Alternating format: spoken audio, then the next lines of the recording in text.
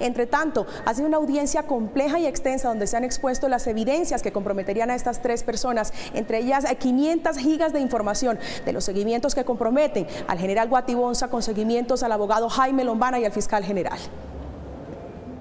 Una conversación del 2 de julio de este año entre el general Humberto Guatibonza y el coronel Jorge Salinas, quien supuestamente dirigía las supuestas acciones ilegales desde Ipiales, enreda mucho más la situación del general en retiro.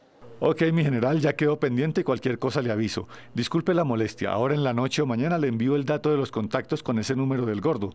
Ese número está caliente y con todos los juguetes arriba en Bogotá. No se puede hacer más detalles porque genera alertas.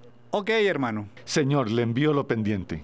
Según la Fiscalía, la conversación se refería a las cuentas bancarias personales del abogado Jaime Lombana y su círculo familiar, de quien pretendían obtener información financiera por supuesta solicitud del senador Armando Benedetti, de quien también se cree que pidió hacer seguimientos al fiscal general y sobre lo cual se habrían encontrado pruebas en una carpeta llamada Prima de Navidad. Esta información fue hallada en el disco duro de la llamada hacker María Alicia Pinzón, quien en archivos protegidos documentaba lo que hoy para la Fiscalía eran los negocios ilícitos de Guatibonza. En este documento llamado Providencia o Incauca se relaciona las interceptaciones de 13 teléfonos celulares relacionados con esas empresas de los que se dice en el informe se descargaron su ubicación y chats, un negocio según el documento referido por Guatibonza. Pero también figura esta carpeta especial llamada Guati. Aquí se lea cuatro teléfonos celulares que debían descargarle los chats de WhatsApp.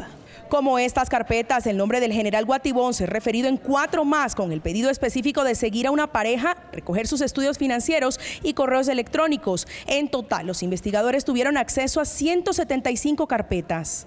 La Fiscalía también tiene en su poder el computador de la hija menor del general, desde donde se presume recibía y enviaba la información de la red que delinquía en Ipiales.